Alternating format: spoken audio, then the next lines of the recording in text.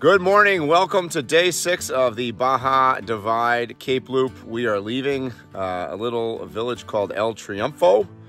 And hopefully we're heading where, Eric? La Ventana. La Ventana, which will be put us back on the Sea of Cortez uh, on the uh, east coast of the Baja Peninsula. So with all luck, uh, that will happen today. It's a little far for us to ride in a day. And we are currently, uh, we've just left town and we're currently on a, a new track. New track or new new uh, Baja Divide discovery. So we left the uh, official route yesterday because it followed pavement and then um, uh, sort of cut out El Triunfo, which is a cool town. So we wanted to go there. So we are navigating uh, out of the town and gonna sort of hopefully hook up with the route again um, in about six, seven miles from here.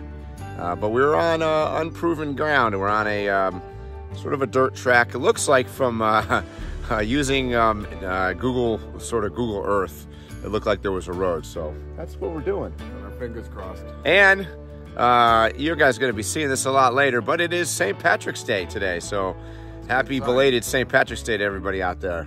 Um, hopefully the luck of the Irish is with us. My name is Michael Ladden.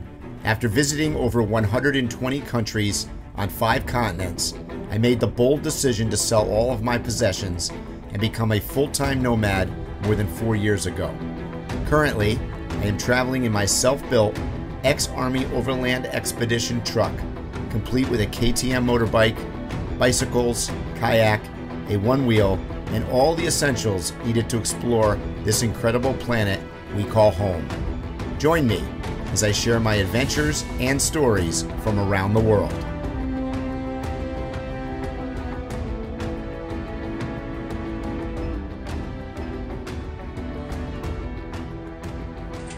Heading out from the Cactus Sanctuary.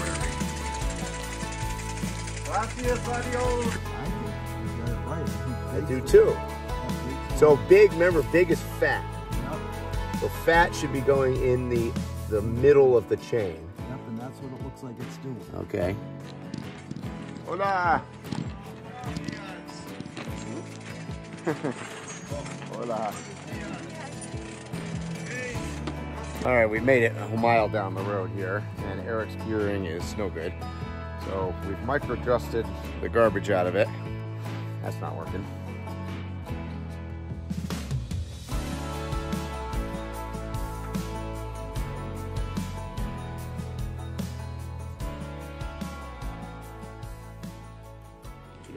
Making our way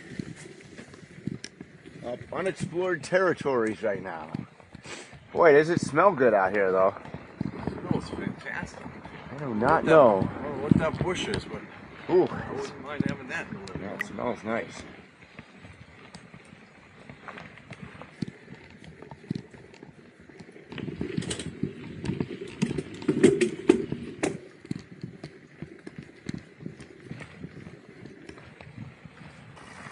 One thing I'm trying to trying to show you guys here today is even if you've got a map of Baja, which uh, I recommend Benchmark Maps is sort of the really the best map you can find, paper map. It's amazing that there are so many places that look like they're inaccessible and there's nothing there. Yet I have found from experience there are roads like this everywhere. Well, this is somewhat unexpected.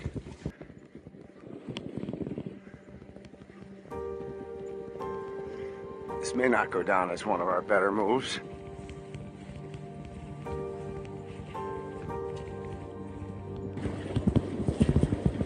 I call this Adventurers Road looks like there might be a road up here. I'm hoping. Maybe not. Definitely a trail.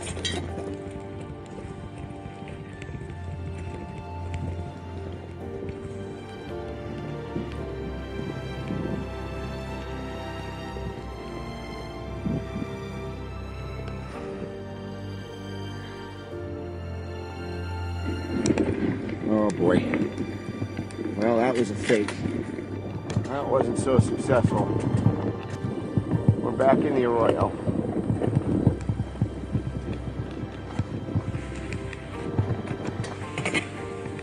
Hmm.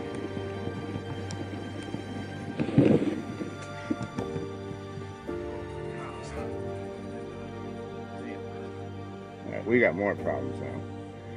Veered off from the blue thing a little bit. Didn't see it up there, but it feels like we should be still up there. And I got Carew telling me to go right. I don't know if we're supposed to be in this. I feel like we're supposed to be up there. Maybe he'll tell us where to go.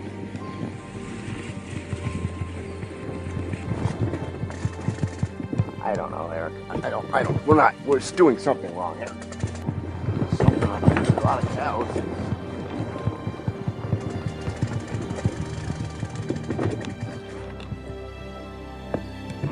Chains off.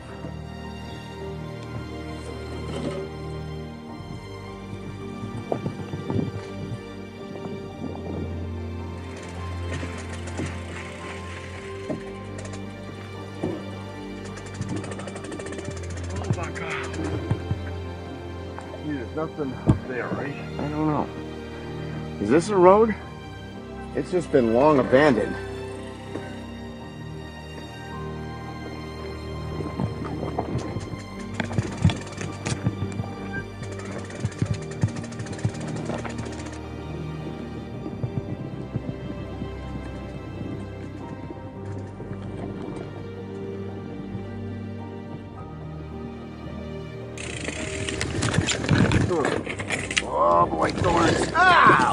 That hurt. Come on, real road. Watch out for these thorns here. Ah!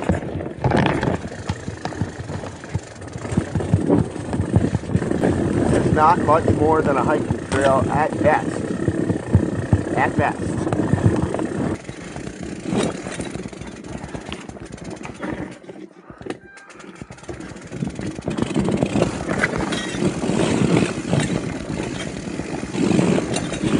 Oh, oh, oh. Ah, oh. Oh, boy. Oh, boy. Oh, boy. Oh, that's gonna hurt. That's gonna hurt a lot. This is a issue here. Big time.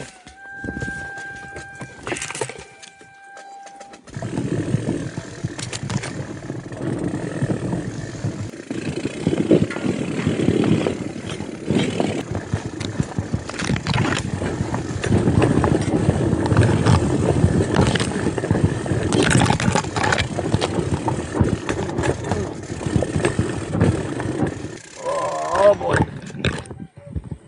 Oh, those things are nasty. We got a house here of some kind. I don't think there's anybody living here, however. That would be a negatory. Abandoned.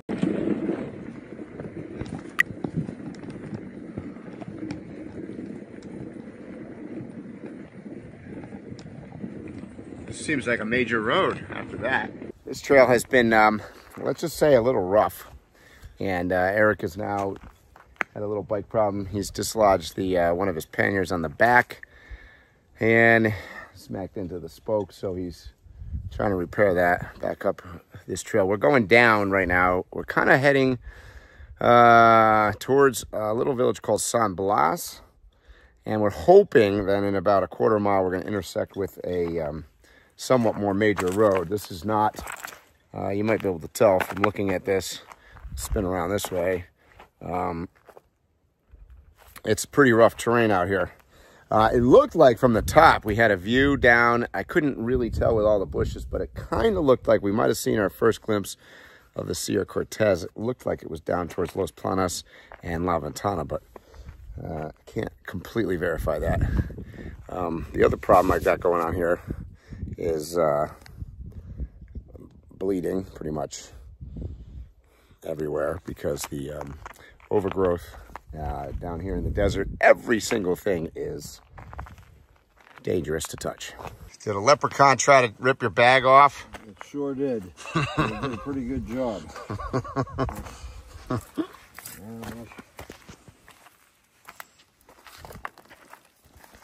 Oh, is it not lined up again? Not lined up and it ripped off the strip at the bottom. Tie it back on. Gonna zip tie it. Here's some duct tape. I'm gonna first, I'm gonna do both. I'm gonna do a zip tie and I'm gonna try to secure. I mean, the good news is the weather is beautiful, the land is beautiful.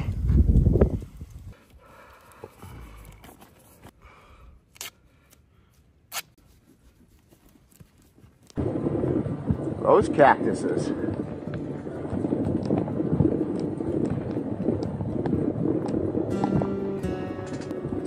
Not looking as navigable.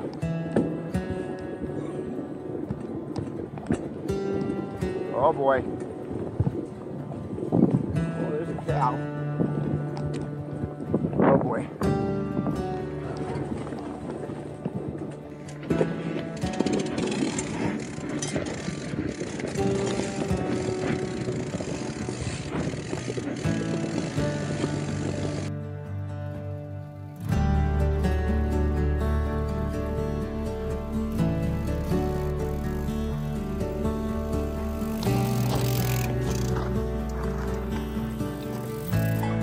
A road over there.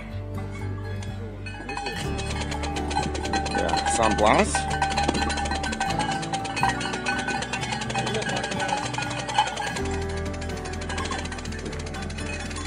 Definitely can't go left. I mean, right.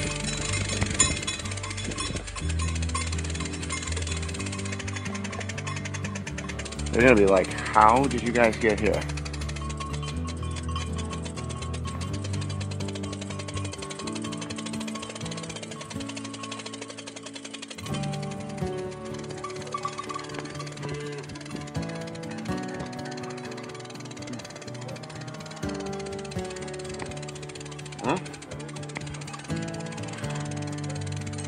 Straight or left? Hmm. Okay.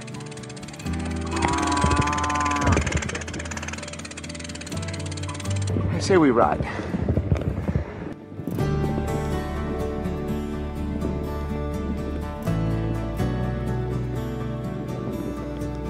We are now back onto a somewhat navigable road. Not still sure that we're going where we're trying to go, but we're on a map. The question is, does it stay like this or does it disappear back into a Jeep trail again? Do not know. All right, we have come out our little cut across from uh, El Triunfo back onto the Baja Divide route. I'll tell you, that was no joke. that was that was a sh- it was not a shortcut by any stretch of the imagination, but it was uh, adventurous routing for sure.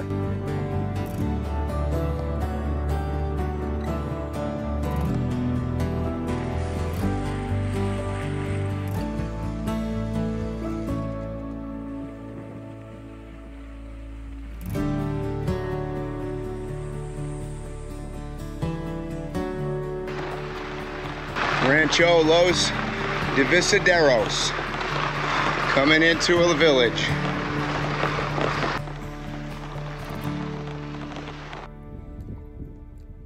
Peanut butter, chia seeds, tortilla. Lunch of champions. Yes, it is. All right, we crested the hill and we're heading down towards Los Planes now. Uh, it looks like it's going to be pretty downhill from here, but don't know what the conditions are. What do you got there, Mike? Oh, my knife that flew off my bike. Got it coming down this steep ravine coming into the arroyo. Yeah. Ah, but I felt my, it hit my foot luckily, so that's all I know.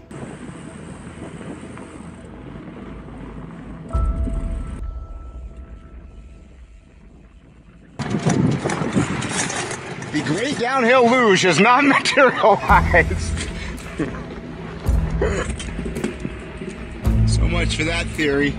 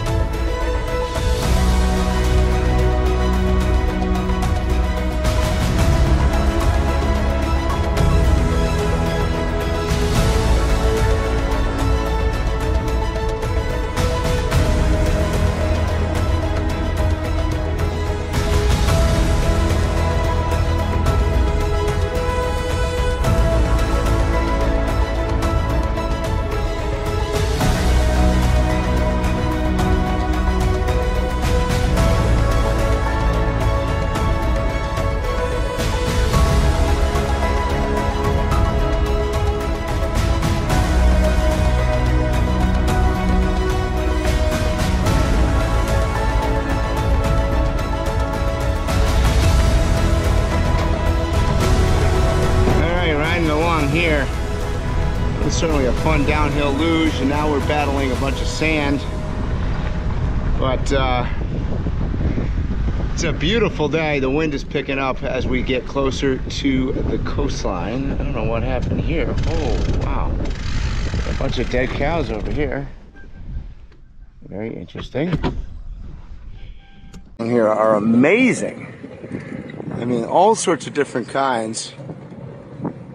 It's just all cactuses. The other thing I'm wondering is, there's a lot of cows we've just passed. You gotta wonder, with the temperature as hot as it is, and it's not even summertime, standing outside here all the time, it's dry as anything. And all it is is cactus. What on earth do they eat? La Ventana. Oh. Right, guys, we have made it from the Sea of Cortez on the east side yes. to the Pacific and back to the Sea of Cortez. So across the peninsula and back, you can see behind us. We are in La Ventana on the windy beach, but uh, it's beautiful. And we found this little glamping resort uh, these glamping tents, similar to what we had over in Todos Santos, but um, pretty cool. Nicer. nicer, nicer, right on the beach, and um, they got their own little bathrooms too, so it's gonna be cool. Looking good.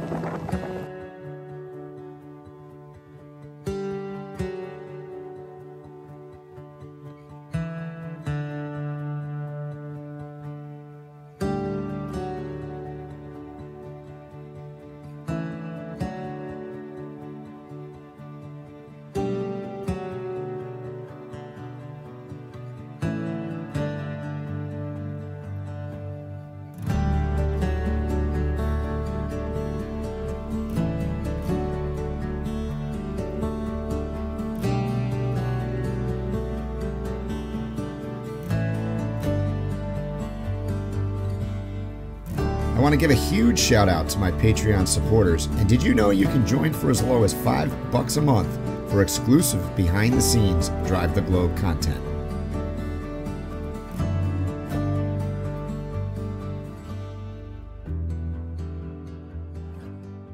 Thanks for joining me today. I really hope that you liked this video. And if you did, give a big thumbs up. Please subscribe down below, and I'll see you in the next video.